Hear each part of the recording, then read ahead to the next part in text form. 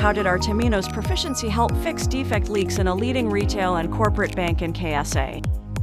It all started with a challenge. The bank had unique products and customizable processes, but insufficient members who had the experience in migrations. The features of the legacy systems lacked in detail and in all. The process that was needed for a migration was not well defined. How did we solve this? A process for migration was laid down. Team members were trained on these processes. A unique required understanding document was derived. This captured all details, including legacy features. A customized requirement framework was developed in alignment with Temenos. Workflows were streamlined as per existing processes defect leakage dropped to less than 1%. Our Temenos Mastery enabled a future-proof solution. A reference guide was prepared for streamlining future processes. Accelerate your next banking transformation with our promise of connected core through encyclopedic Temenos proficiency.